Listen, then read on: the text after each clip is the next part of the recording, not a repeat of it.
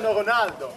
All'epoca cannonieri significava essere soldati in grado di sparare con il cannone. Per sparare con il cannone occorreva fare degli studi equivalenti diciamo a un nostro corso eh, tipo diploma di eh, perito chimico e perito meccanico. C'era proprio un corso apposta a numero chiuso con esame d'ammissione. Ma anche 4-5 tonnellate. Ce n'erano 44 qua dentro, ne abbiamo ritrovati con la sovrintendenza 5 che sono in una casa orecchie tappate, soprattutto i bambini, e bocca aperta. Per... Bocca aperta. Dio San Giorgio!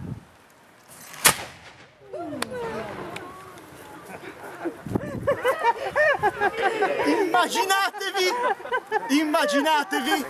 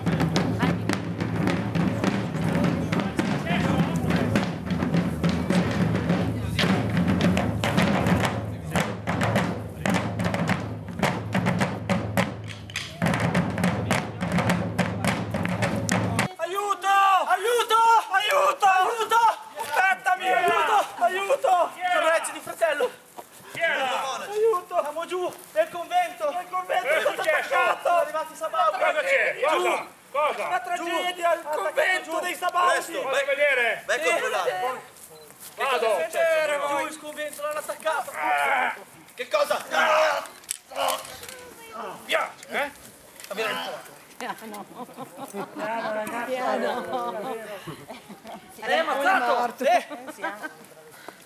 Allora andiamo di là!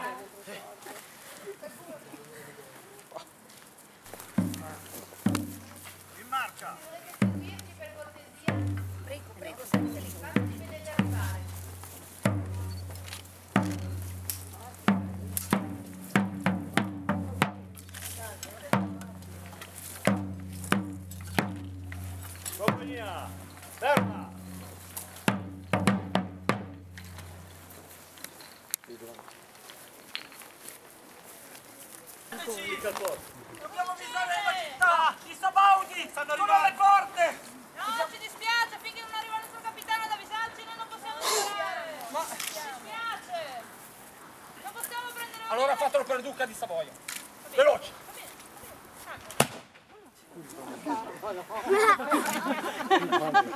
Via, fuori! Parate il colpo! Tappatevi le orecchie, aprite la bocca. È il segnale convenuto. La truppa del Duca sta avvicinandosi.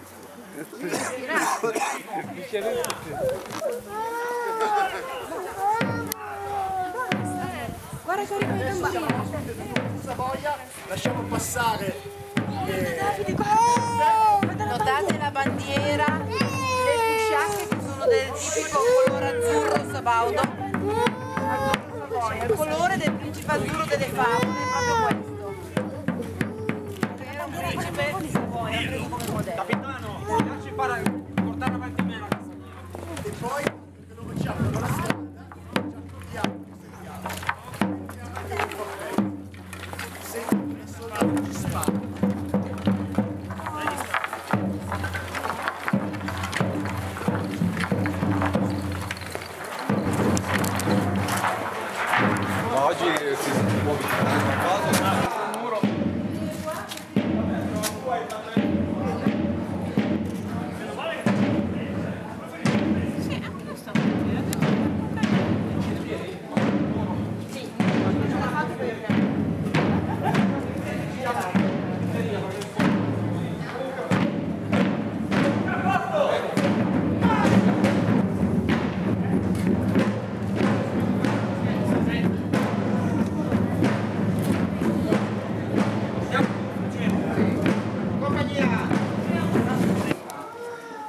Moschettieri, avanti! Sergente, vediamo di dare una spolverata a quella feccia. Moschettieri, pronti al fuoco! Stare! Fuoco!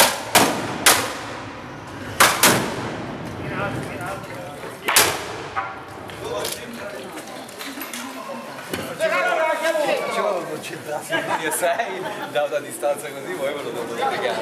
Cioè, ci voleva tanto stare.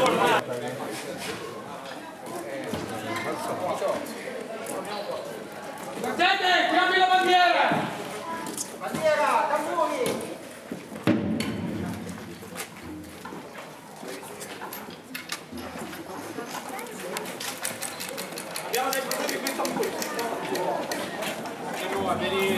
Dunque, Di nuovo ci rincontriamo qui. cosa volete? Il forte, andatevene via. Arrendetevi, andatene via.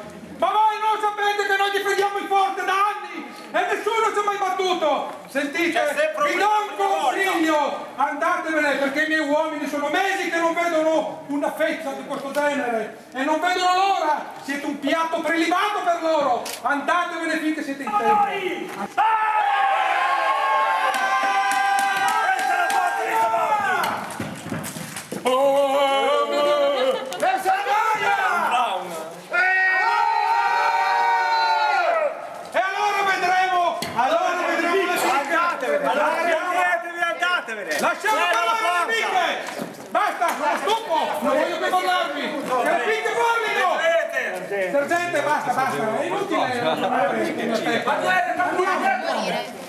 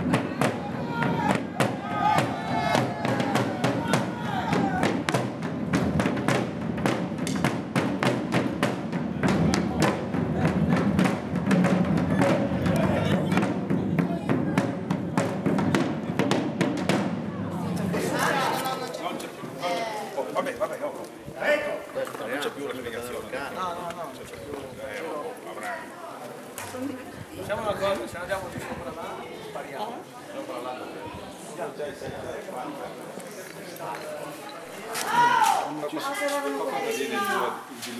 Sì, allora, eh, aspettiamo due minuti e poi vi spiego tutto. C'erano nel 600 i primi medici. Arriva che ne è arrivato un altro. Come facciamo? Vai, è ancora vivo. Oh, i denti, se per caso mi hai. Dammi una mano, dammi una mano.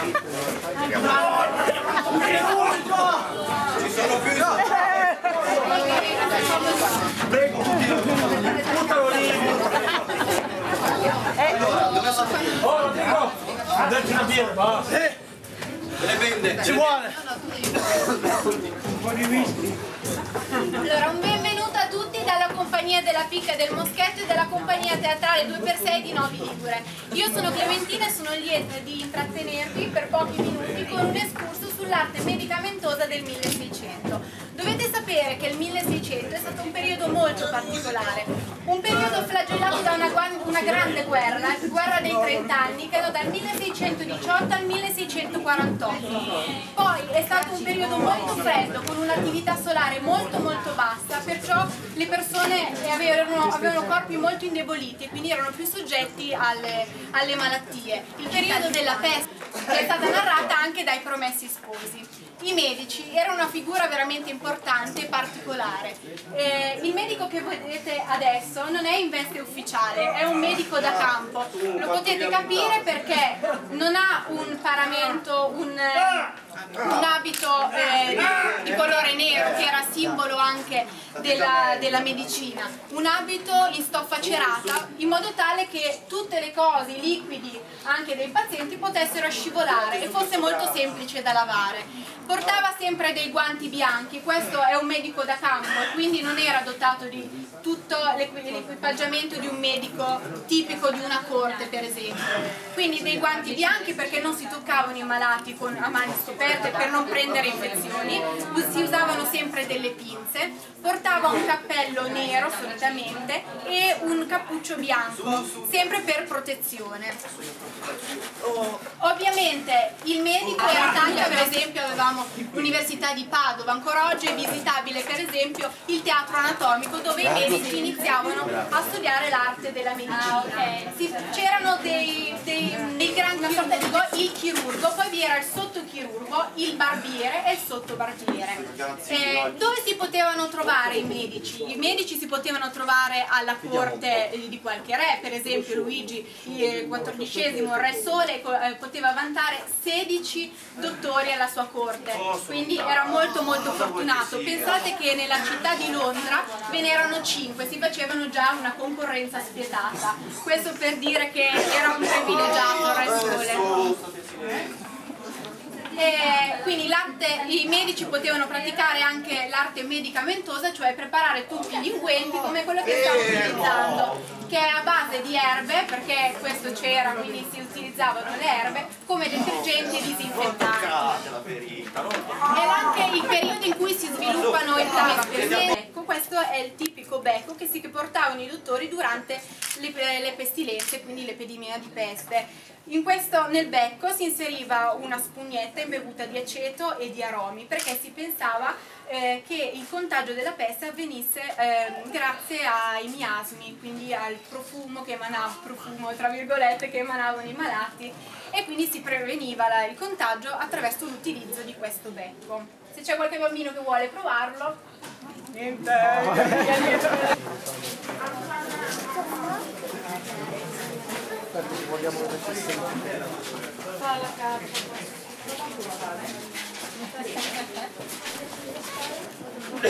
Allora, voi vi chiederete cosa mangiava la gente in quel periodo, visto che si è parlato di puzze, pipì. no? Allora, ve lo dico subito, questa diciamo, è l'esposizione di quello che poteva mangiare un nobile, un ricco, un benestante. Questo quello che poteva mangiare un povero, tutta questa tavola. Bella, no? Bellissima. Praticamente i poveri non mangiavano pochissimo. Pensate che la paga di un soldato, quelli che avete visto giù, prendevano qui mh, documenti del forte, eh, prendevano una bottiglia di vino, un litro di vino al giorno e una pagnotta, il resto dovevano comprarselo, quindi generalmente compravano delle zuppe calde alla sera nelle taverne perché non esistevano i ristoranti. I ristoranti sono nati nel 600, eh, dopo che i, i grandi cuochi delle grandi famiglie nobili sono stati... mh, dovete pensare che nel Medioevo, parto un pochino prima perché eh, purtroppo la storia del 600 è bellissima ma si aggancia sempre al Medioevo. Nel Medioevo c'era stata questa eh, esplosione di voglia di far vedere agli altri quanto si era ricchi in qualche modo, quindi vestiti bellissimi e tavole imbandite. C'era il gusto del acido e dolce, eh, secco e morbido, c'erano tutti i contrasti, no? E quindi questi cuochi erano diventati specializzati in un ricco. C'erano tutti i tipi di farine, quelle che conosciamo noi. Eh, abbiamo delle cose che qui sono esposte, ma esistevano in natura, ma non esistevano ancora in Italia, tipo i semi di girasole, la farina di mais, le patate e i pomodori. Perché? Perché sono arrivati con la scoperta dell'America nel 1492, sono stati importati come o semi eh, da belle- piante da bellezza come il pomodoro e la patata, erano messi nei giardini come frutti che era in tutte le cucine, serviva per chiamare il personale di servizio che doveva portare le varie portate in tavola. Il riso, molto importante, eh, noi l'avevamo già nel 600, entra- è arrivato in Italia nel 1200, quindi grandi risotti a Mantova, queste grandi famiglie eh, avevano addirittura il- lo zafferano che veniva importato in Italia dalla Compagnia delle Indie, che vedete qua le spezie sono esposte, erano importantissime perché la spezia era costosissima, quindi i signori le volevano. Questi sono gli stati dei budini. Sai che c'erano già i gelati a quei tempi? C'erano i sorbetti e iniziavano a fare già i gelati. Sì, perché sai cosa facevano? Prendevano dei mastellini, fatti conto un mastellino era grosso così, no? Come un cilindretto di legno. Mettevano la neve, quella là che abbiamo messo nel, nel nevaio, la mettevano sotto, dentro mettevano un altro cilindro tipo questo così, come se fosse col gelato e li portavano in giro per la gente. I poveracci non li mangiavano, eh. Facevano solo...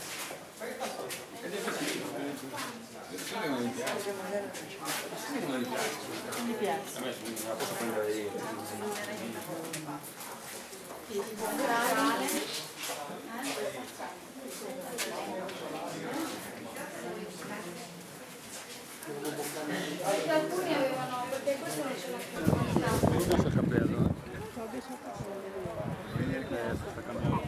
più.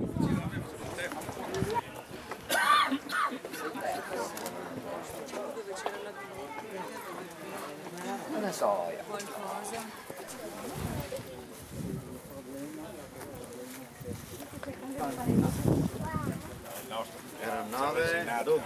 C'ha lesionato al 12. Sì, adesso ne abbiamo sparati 3. Sono rimasti. sono rimasti. Sì, erano 12 erano. In mezzo quei due fucili lì.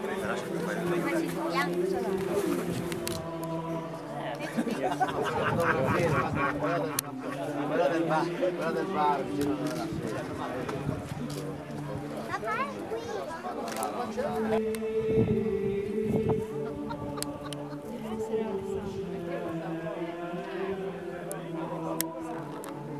Come prima ci apriamo, sparate, no, apriamo noi, non vi aprite, vi apriamo. Facciamo, facciamo praticamente